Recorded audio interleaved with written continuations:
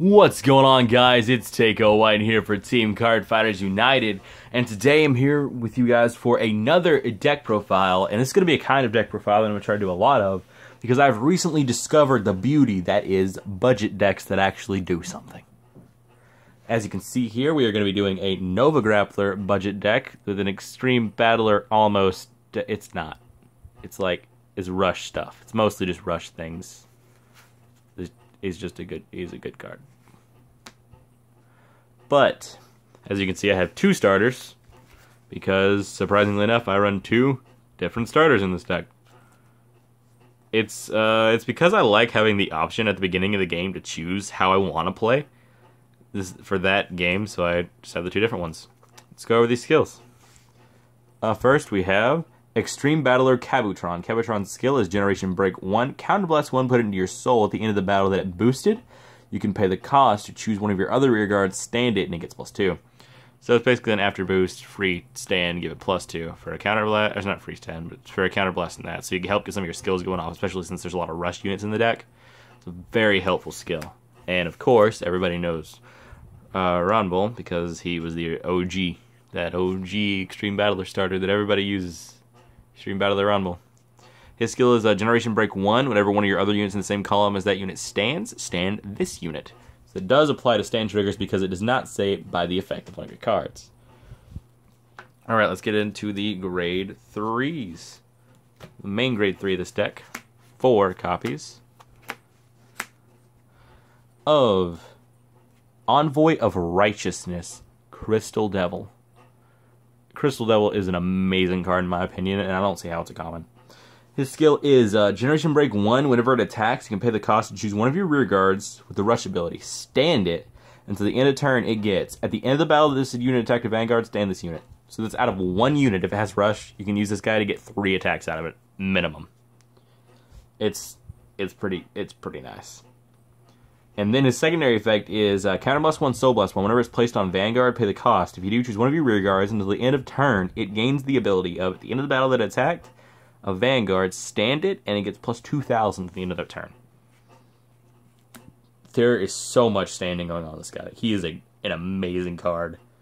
And this deck is somewhat counterblast heavy. Okay, it's depending on the how your uh, your game goes, it can get very very counterblast heavy or barely any counterblast at all. Very depending on how your hand ends up because this deck can play in very different ways. Next grade three is something we run three of. It's another really great grade three in my in my opinion. Muscle Shriek. Muscle Shriek can give you a little bit of um field control because of his uh, Muscle Shriek's on placement skill. The skill is his first skill is Generation Break One. Counterblast Two. Whenever it attacks, you can pay the cost to stand two of your units and uh, give them plus two thousand. So again, that's a lot of standing power, and I love these cards, and I can't believe how like just they're they're both like ten cents a piece. Like this is a budget deck. I paid twenty three dollars for this deck, it's, uh, and it's really fun to play. I love it. Secondary skill is just like Crystal Devil of the Counterblast 1, Soul Blast 1, but the skill is whenever it's placed on Vanguard, you can choose one of your rear, grade 1 or less rear guards, and, um, yeah, choose one of your opponent's grade, or choose one of your grade 1 or less rear guards, and choose one of your opponent's rear guards with less power, or power equal to the unit's power, and retire it. So, on place, Counterblast 1, Soul Blast 1, so you get this guy out, pop your starter it's just it's really beautiful and I just enjoy using that effect. There's also one last grade 3 that I was kidding when I put it in this deck and then it worked and it made me so happy. The one, the only, my avatar. Goldar Uh yes, Gold Rutile, the beast himself and I obviously, just like Morikawa, only run one. His skill is, when your rear guard's attack hits a vanguard, choose one card from your damage zone and turn it face up. What? This is a, a trial deck card from season one, and it does that? Oh, just use this. So you've got this behind it. Uh, attack after you attack with the rear guards. Either them hit, you countercharge. If it's because attack hits, you can counterblast two and stand something. And whether it hits or not, move this guy to soul, counterblast one to stand something else, and you're countercharging every time something hits. That's our rear guard. Like, that's really good, and something I'm really hoping for is for a gold Rutile revival. I don't care if it's a Stride or a Legion, anything. This card is just, I love playing with it. It's really fun, especially because you can uh, run Madew in the deck. So if you have to ride that guy first, you can just drop uh, drop Madew to hit it to G break. For all your other effects will go off. We're going on the Great Twos now. First up, we have Master Kung Fu. Totally not a Kung Fu panda. It's not like it's a, literally a panda that does Kung Fu. Okay. But uh, his skill is Rush, which is very important. Uh, whenever it stands due to the effect from one of your cards, it gains. Counterblast 1. When this unit attack hits a Vanguard, and we pay the cost. If you do, choose out one of your other rear guards, stand it, and it gets plus 5. This card can pull off a very, very broken combo. See, this is your field. Let me just show you guys something very bad that can happen. Let's say, uh, oddly enough, this is your uh, this is your damage. So you attack with this. It doesn't matter what you attack. Just take a rear guard, take a rear guard. You know, maybe it drops from the rear guards, which is very plausible to do since you are going to stand back up anyway. Attack with this. Use this skill. Uh, counter charge, or uh, counter blast, move to soul. Stand something. That's in rush. Attack. If they let this hit, like if they don't have guard power when you're doing this, let this hit, it hits skill. Counter blast one. Stand this, give it plus five. Skill of gold rutile. Counter charge. Attack. If it hits, counter blast one, stand, plus five, gold rutile, counter charge. If you can make that happen, it is way too beautiful.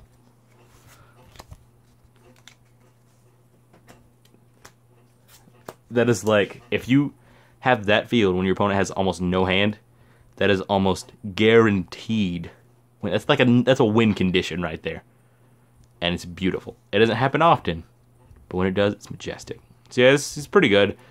I run him, and he's like the cheaper version of uh, this is what's his name, Cool Hank, because Cool Hank is like expensive It's the budget deck. This card just worked really well because Rush, so a lot of my Rush effects will go off because of him that I couldn't use with Cool Hank. Because like I said, most of this deck is Rush. Here's one of the few cards that is not Rush. Extreme Battler, Suzanda are in three. And Suzanda's skill is uh, whenever it stands to the effect of one of your cards, it gets plus five. You know, it's really basic skill. It uh, it doesn't have rush, so a lot of your rush skills can't go off with it. But it's okay because it's just a good card to have because it can build up really easily.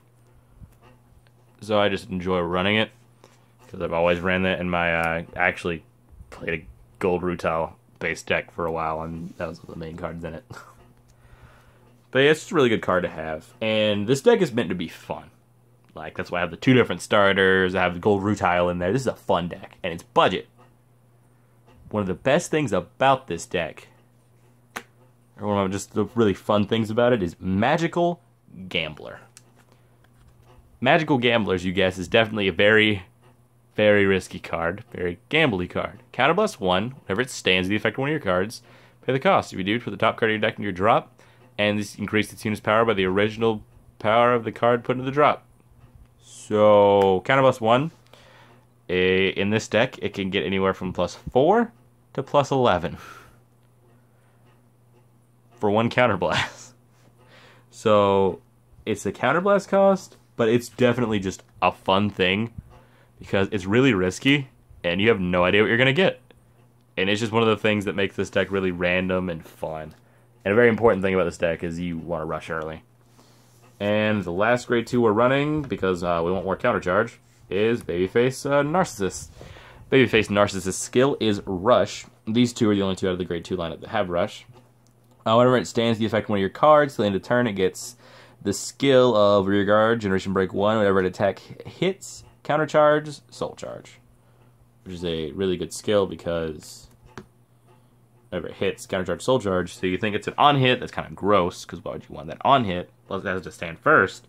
But if you're using a bunch of effects and standing it constantly, it can hit multiple times, and therefore, it's just a fun time. And if you're on gold rutile, then it hits, you counter charge twice, and soul charge. So yeah, it's definitely fun to run. You can instead of running that, you can run Starlight Hedgehog, which is uh, once per turn when it stands counter charge, which isn't bad. I just like that because um, it's just a, it's like more. It can, it's more risky, but there's a good reward that can come of it. So it's just a card I like to run.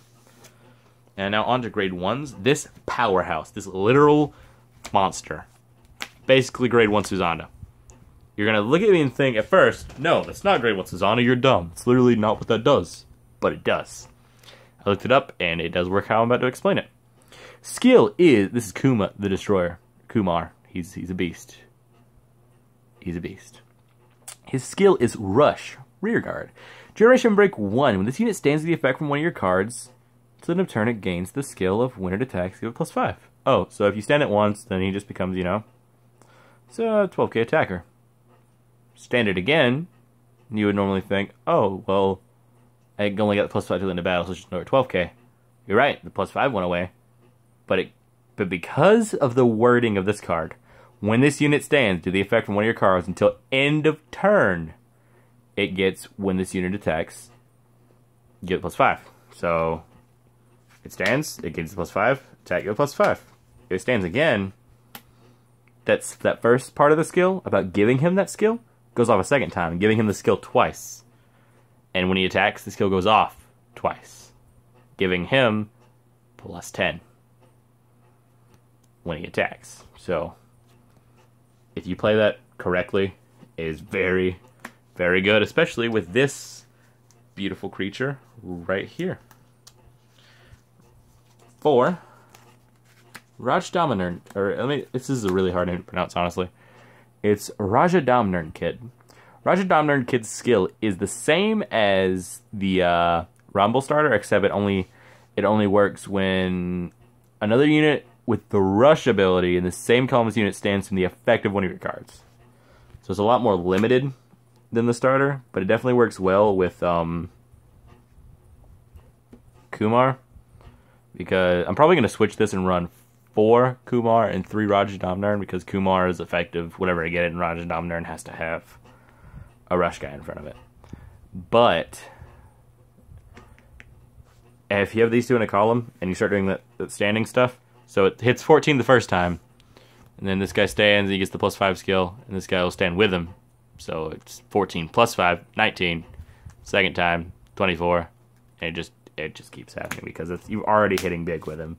Just because, you know, it's a 14k column, which is nice. And the second time it's 19, and then just keeps building from there because of that card. Because I run four of him, it's just a very good card to have.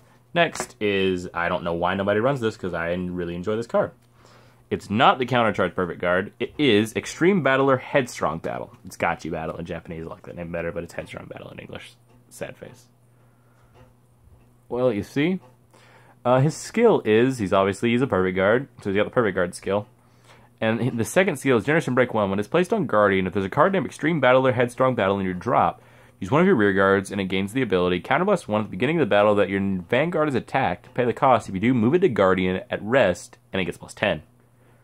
So, say you have a starter on the field and something's getting swung at, you can Counterblast 1. Spear call it your Guardian circle, plus 10, so it's 20k shield. So, uh, it's a G Guardian right there. And I feel like that's good for, instead of the counter charging, for extra guard power when you need it. So I definitely feel like I just, just feel like that's a really good skill to have, and it's only it's a uh, I believe 97 cent card, which is like the most expensive card in the stack. And then last grade one, running one copy of Final Wrench. Final Wrench skills, whenever another one of you uses the same calls that you stands with the effect of one of your cards, it gets plus four. So, you know, something that I would throw, and if I don't have him, I can throw behind Kumar, so it'll get plus four every time Kumar stands. But usually I want to put him behind something else. Like one of my non-rush guys, like uh, Magical Gambler and Sazanda, I throw it behind him. I don't get him often, but when I do, it's usually when I would need him. So it's it's a good skill to have because it's free. You don't have to pay anything for the uh, for the extra plus four to go off. So it's really just nice skills. That's just just my one of of the deck.